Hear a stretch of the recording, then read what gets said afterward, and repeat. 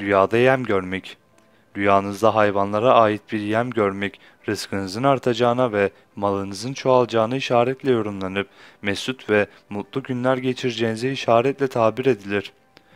Rüyanızda kümes hayvanlarına yem verdiğinizi görmek, onların önüne yem serptiğinizi görmek, hayır ve iyilik yapacağınızı işaretiyle yorumlanır.